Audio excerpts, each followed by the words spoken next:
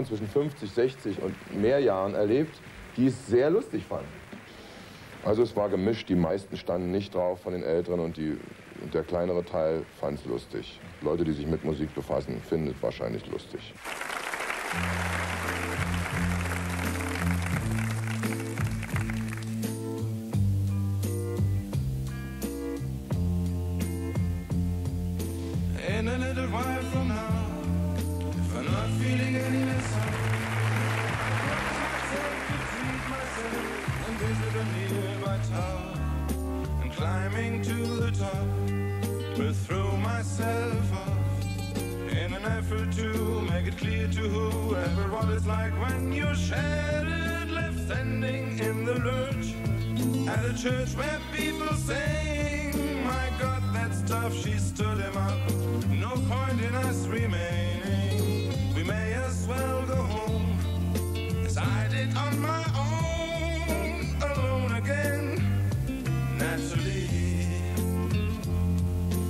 Think that only yesterday I was cheerful, bright, and gay.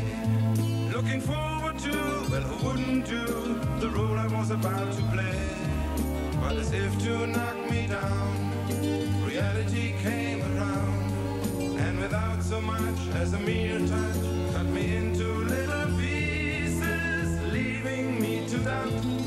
Talk about God in His mercy, who if He really does exist,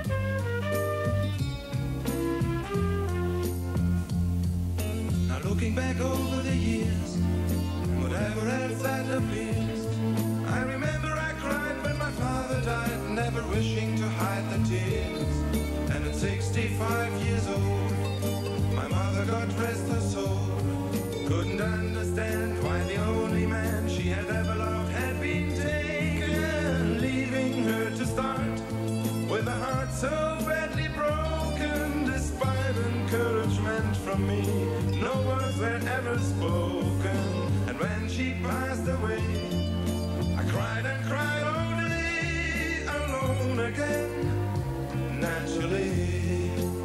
Mm, alone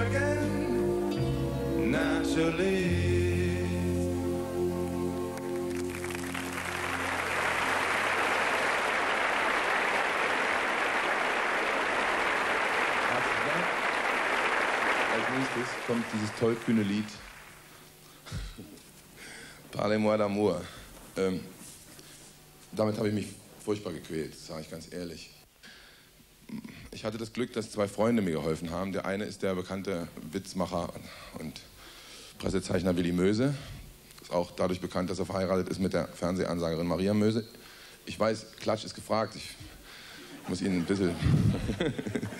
Es kommt ja bei uns in der Zeitung nicht vor, nicht?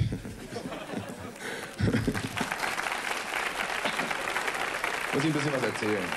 Ähm, und der war wirklich ganz lieb zu mir. Der hat gesagt, du machst es so schön, Kessera machst du so schön. Also ich vermiete die Platte jetzt immer, äh, weil sie ja nicht zu kaufen gibt, vermiete ich die immer als Sprachkursus für Spanisch. Nicht? Natürlich ein tolles Kompliment gemacht. Der, der mir das Französische beigebracht hat, kann seine Platte übrigens nicht vermieten. Also der kann nicht, ähm, der kann, muss die behalten. Ähm, Parlement d'amour. Danach, danach kommt Greensleeves, dieses alte englische Volks- und Liebeslied. Grünärmelchen heißt es übrigens. Äh, übersetzt von Peter Hacks. Ja, wir haben in der leichten Muse auch bedeutende Dichter. Ich, ich bin ein bisschen sauer auf den, weil der. Der sagt mir jedes Mal, Mensch, hast du wieder eine miserable Platte gemacht. Ne? Der ärgert mich immer furchtbar damit. Dabei ist er sich gar nicht im Klaren darüber, dass er den diesjährigen Nationalpreis bloß deswegen gekriegt hat, weil er Greensleeves übersetzt hat. Ah, ja. Parlez-moi d'amour und Greensleeves.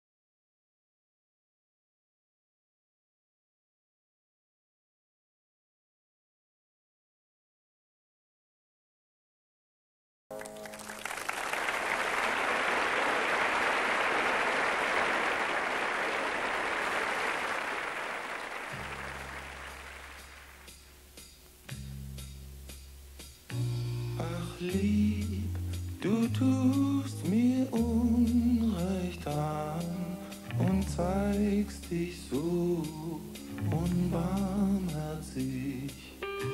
Hab dich geliebt, so gut ich kann, beständig treu und warmherzig.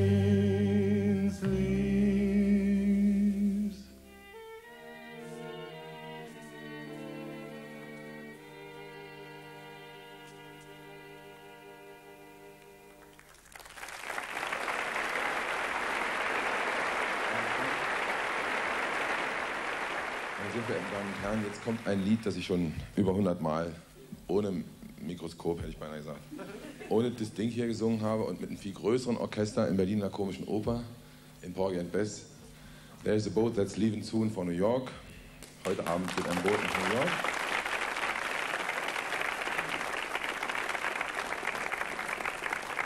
Und dann kommt, so geborgen ich mich in ihrer Runde auch fühle, ein Lied, wo ich nicht länger hier alleine stehen muss, sondern wo Beate Barwand, die Reizende, mich begleiten wird, musikalisch sozusagen. Aber zunächst There's a Boat und dann mach's gut, ich muss gehen.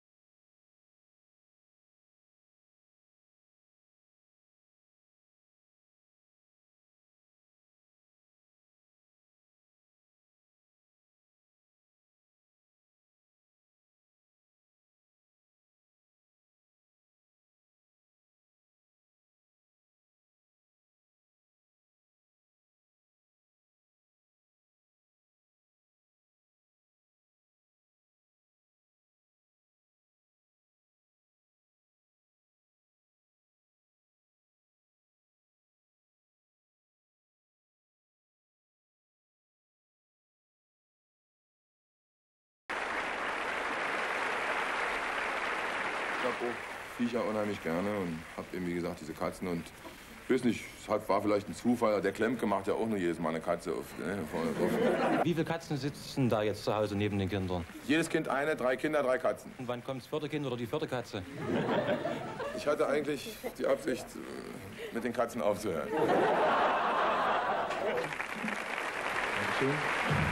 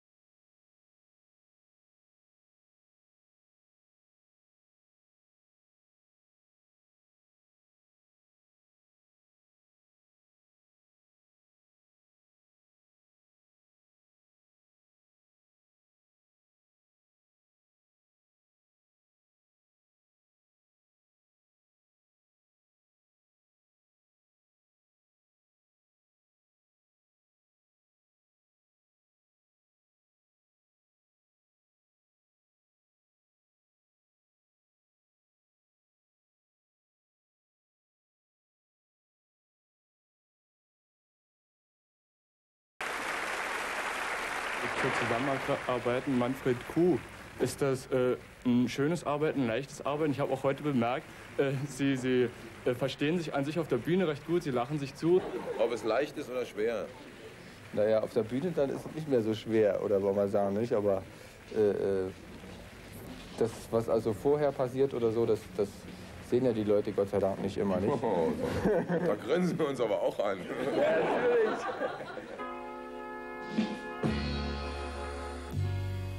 Alles geht einmal zu Ende und mit ihnen war's wunderschön. Wo sind sie? Wo ihre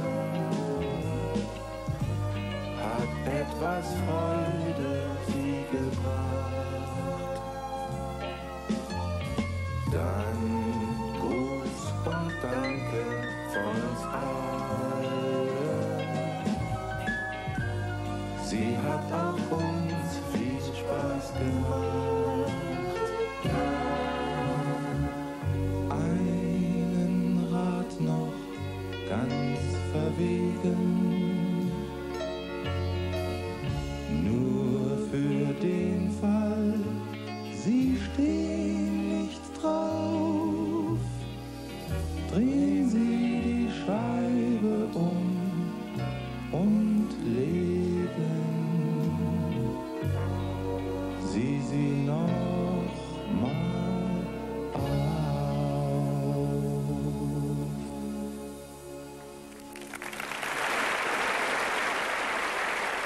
Wie hat euch das gefallen? Ach, sehr gut. Mir hat es prima gefallen. Ja, ist wirklich, ich habe keine Begriffe dafür. Ich war ganz begeistert. Fetzig.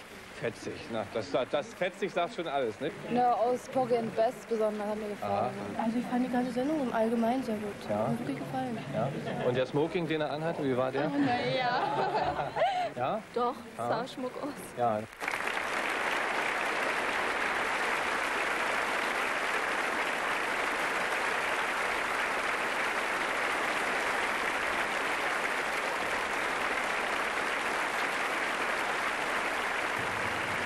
Ich, möchte, ich will es mal so sagen, vielleicht ist es ein bisschen arrogant, aber das Publikum hat mir gut gefallen.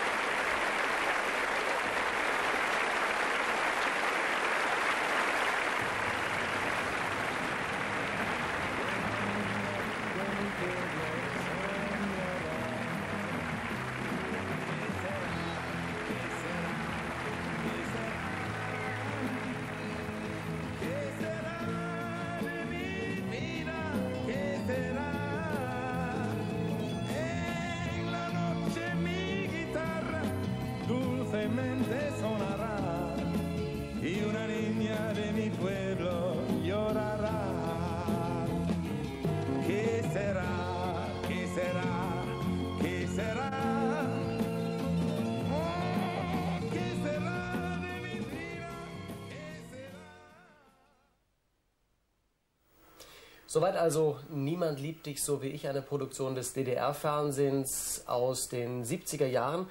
Und wir sind jetzt zu Gast bei Günter Fischer in Ihrem Studio. Schönen Dank, dass wir zu Ihnen kommen durften und herzlich willkommen bei Klassikern der Fernsehunterhaltung. Hallo, Herr Fischer.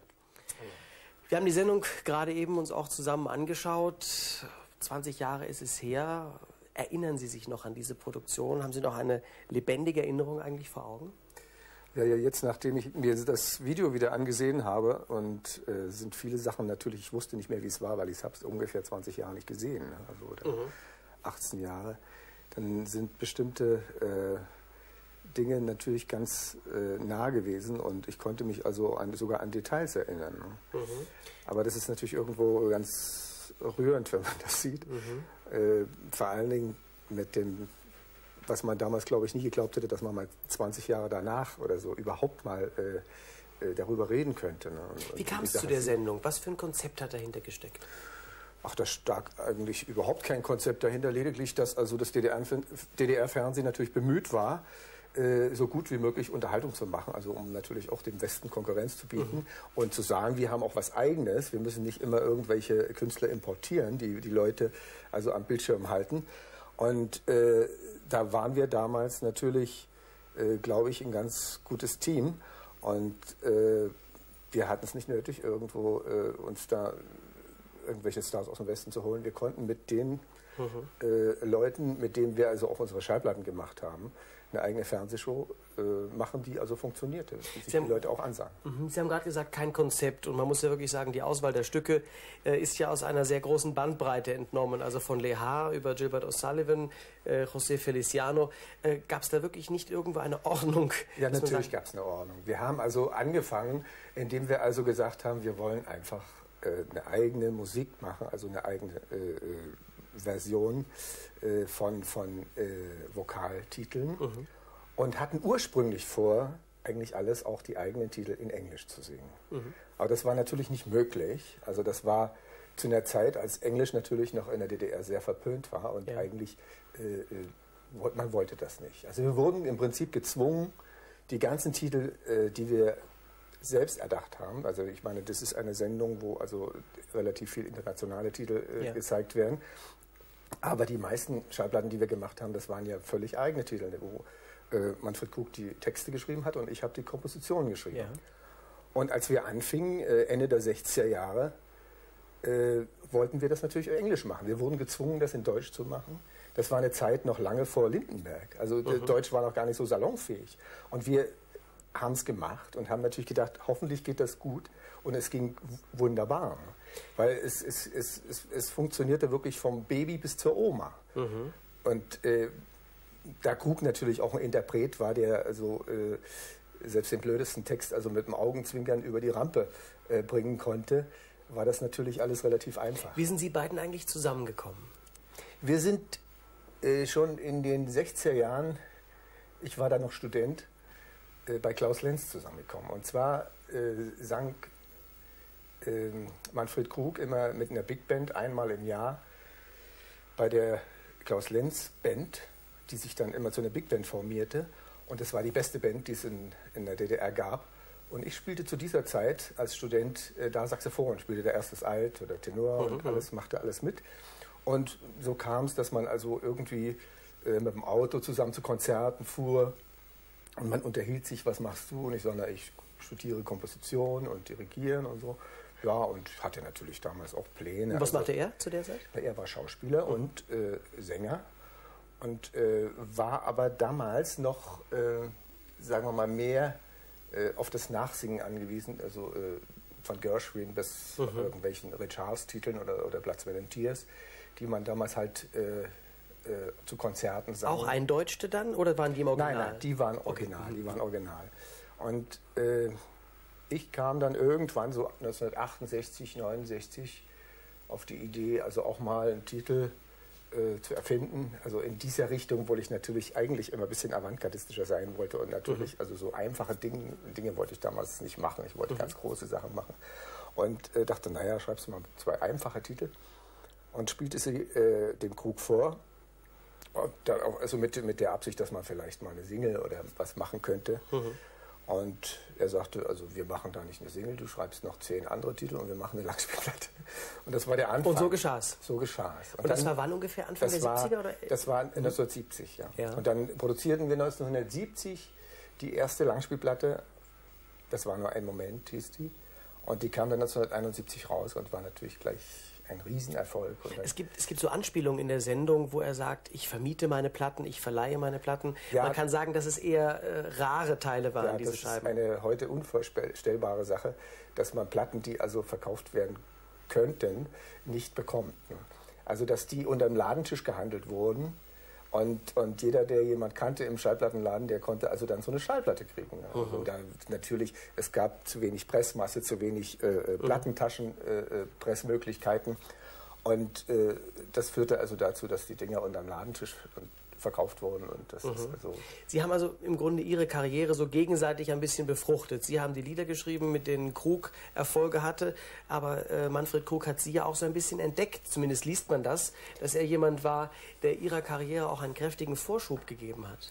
Naja, das kann man so oder so sehen. Ich habe ja damals schon in dieser Zeit, habe ich ja auch schon äh, Filmmusiken gemacht. Mhm. Also erste große Filmmusiken und alles mit großen Orchestern und habe also, äh, sagen wir mal, äh, schon versucht, meinen eigenen Weg zu gehen, weil Ja. ich, das, das, der, der Krug war eine äh, äh, Sache in meinem Leben. Mhm. Und ich habe natürlich damals auch sehr viel am Deutschen Theater oder am Berliner Ensemble große Theatermusiken gemacht. Mhm. Oder Schauspielhaus Zürich oder Burgtheater Wien. Und habe also schon äh, äh, auch meine eigenen Dinge gemacht.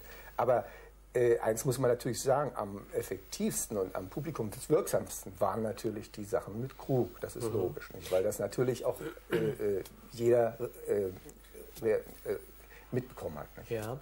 Wie würden Sie die Hauptunterschiede charakterisieren in der Fernsehunterhaltung damals zwischen dem Osten und dem Westen, mal abgesehen von der Sprache? Was gab es da für Unterschiede eigentlich? Ja, das, äh, es ist ein bisschen kompliziert, aber ich würde das so sehen, wir, ähm, ich meine, das, was wir gemacht haben, das war sowieso nicht der Tagesschlager oder so. Wir wollten, sagen wir mal, ein bisschen gehobeneres Niveau machen, was also, äh, äh, also ein bisschen in die, in die Jazz-Richtung ging und, und in, in, in eine ganz andere Richtung, die eigentlich nicht so breitenwirksam war. Und wir hatten das Glück eigentlich, dass das DDR-Publikum aus Ermangelung, dass es natürlich Heino und äh, Roy Black und so eine Leute nicht gab und man die auch nicht verkaufen konnte, mussten die Leute halt irgendwo was anders äh, sich anhören, wenn sie was Eigenes äh, anhören wollten. Und da kam das eigentlich, das war eigentlich ganz gut, äh, aus dieser Ermahnung dazu, dass also ein bisschen ein höheres Niveau, äh, glaube ich, also auch den Leuten aufgezwungen wurde. ne? Weil die hätten natürlich viel lieber äh, ein Konzert von Heino oder so erlebt. Und als mit uns nehmen. Und mussten dann irgendwo, und man, es bekam dann, also man machte Jazz und Lyrik und so weiter. Und das waren immer irgendwo so Ersatzsachen, Aber die aber dann funktionierten. nicht? Ich meine, das war natürlich nicht so, dass wir irgendwie äh, eine Ersatzsache gemacht haben. Also das kehrte sich dann um und ich finde, das ist heute noch so. Und wenn ich heute Konzerte mache, nicht, da kommen also noch Fans von vor 20 Jahren und, und äh, die Buden sind ausverkauft, ob das Theater oder so. Diese, diese Tradition gibt es im Westen gar nicht. Ne? Wenn man da Jazzkonzerte machte, da war das immer im kleinen Rahmen, also in irgendeinem Jazzclub, dann mit 30 oder 50 oder 100 Mann. Aber hier haben wir mit fünf Personen zweimal den Friedrichstadtpalast gefüllt mit 3000 Mann. Das muss man sich mal vorstellen. Wo, wo waren Eingriffe? Sie haben gerade gesagt, man durfte nicht und wir sollten, aber an welchen Stellen wurden für Sie Eingriffe spürbar in Ihrer Arbeit damals? Äh, ach, eigentlich äh, war das gar nicht mehr so schlimm. Ich meine, man hat damals, natürlich, man durfte nicht Englisch singen. Man durfte keinen Titel machen, der also einen englischen Text hatte. Es sei denn, es war irgendwas Originales und da musste es natürlich eine große Organ äh, Genehmigung geben, genau wie bei dieser Greens, ne? Mhm. bevor wir die machen konnten. Das war so die dritte Platte in unserer äh, äh, Trilogie? Ja, naja, es sind da noch ein paar noch gekommen. ein paar, Ja, ja. Und äh, äh, das war natürlich, weil es natürlich auch Devisen kostete. Es hatte ja eigentlich den, den Hauptgrund immer, die konnten keine Devisen ausgeben. Das war Mhm. alles zu teuer. Und deshalb wollte man natürlich auch lieber eigene Sachen haben. Mhm. Und, äh, und die, die Greens war wirklich eine Ausnahme. Ich meine, da musste, musste ja, wenn äh, für jede Platte, die gepresst wurde und verkauft wurde, musste ja an die GEMA äh, äh, hartes Geld abgeführt werden. Mhm, Aber ich meine, bei uns waren eigentlich die, als es dann funktionierte, die Eingriffe äh, relativ harmlos. Als man sah, dass es funktionierte Ja, und dass, dass ja, der Erfolg da war. Wie war Ihr Verhältnis? War es eine Art von äh, arbeitskollegenhafte Beziehung oder wurde daraus eine engere Freundschaft? Tja, also das war eigentlich äh, eine sehr schöne Arbeit, weil ich glaube, so ein Talent wie Krug in der damaligen Zeit gibt es auch bloß alle 50 Jahre einmal, weil der Mann wirklich äh, äh, ein, ein musikalisches Talent hat und sehr gut singen kann Mhm. und natürlich auch ein, ein Jazz-Feeling hat und obendrein also auch noch texten kann. Äh, das, das schloss aber nicht aus, dass wir also in der Arbeit ganz hart miteinander umgingen. Mhm. Weil natürlich, äh, das sind so ein paar Sachen, wo ich am Anfang, also auch, äh, weil ich natürlich vom Stilistischen her, äh, äh, sagen wir mal, lieber bei äh, Platz für den Tiers oder irgendwo angeknüpft habe, Mhm. hätte. Und er natürlich, sagen wir mal, so ein richtiger Zwingenmann war. Ne? Und das ist, das sind aber so kleine Sachen, die man dann, äh, die man dann, wo man sagt, na gut, ich hätte es ein bisschen mehr vielleicht anders vorgestellt. Also in der Sendung aber da das Sie- alles so, so Ja. gut funktioniert hat, ne? Und alle fanden es toll, was soll man dann noch sagen? In der Sendung wirken Sie ja sehr traut. Also die Schlussnummer, die ja immer noch so ein letzter Auftritt des Solisten ist, singen Sie zu zweit. Was ja für mich so ein, so ein Signal war, dass da zwei sind, die sich einfach sehr gut verstehen, wenn sie sich Ja, den, den Abgang von der ja, Bühne ja, ich teilen. glaube, ich glaube schon. Also ich meine, de, äh, also weil wir beide äh, hohe Qualitätsansprüche hatten, glaube ich, äh, blieb uns gar nichts anderes übrig, als uns zu verstehen, weil es gar nicht so viele Leute gab, mit denen man hätte arbeiten können. Mhm. Wie ging es dann eigentlich weiter? Krug wechselte in den Westen 1977. Haben Sie den Kontakt zu der Zeit schon verloren gehabt eigentlich oder ging das noch weiter? Nein, nein, wir haben den Kontakt behalten und haben uns natürlich sehr selten, aber ab und zu doch gesehen und, und äh, wollten eigentlich auch musikalisch weiterarbeiten. Mhm, Aber das ist natürlich alles äh, äh, sehr schwierig gewesen. Vermissen Sie das? Würden Sie von sich aus sagen, wenn, wenn Sie zurückblicken, ich hätte es ganz gern noch länger gehabt? Nein, ich glaube nicht, dass man so eine Sache, außerdem kann man sowas nicht wiederholen. Man kann auch nicht jetzt sagen, jetzt mache ich das nochmal genau, was ich damals gemacht Mhm. habe. Ich finde, das ist, äh, äh, äh, das ist, das ist eine Milchmädchenrechnung, weil, weil beide Teile irgendwo dann äh, vielleicht verkrampft oder irgendwie rangehen und, Mhm. und nicht mehr diese, diese Lässigkeit und diese, diese, diese, diese, diese äh, Kreativität an den Mhm. Tag legen können. Also für Manfred Krug ist sehr erfolgreich zurzeit, wer weniger als Sänger, als Entertainer, aber Sie ja nun wirklich nicht minder, denn Sie sind ja nun aktiver denn je. Wir mussten uns Mühe geben, mit Ihnen überhaupt so einen Gesprächstermin zustande zu kriegen, weil Sie ja komponieren und arrangieren wie der Teufel zurzeit. Was machen Sie im Moment? Ach, im Moment mache ich gerade äh, unter anderem, also Fernsehen, äh, eine Sache, Kapitän Harmsen heißt das wahrscheinlich, also äh, im, im Titel. Ich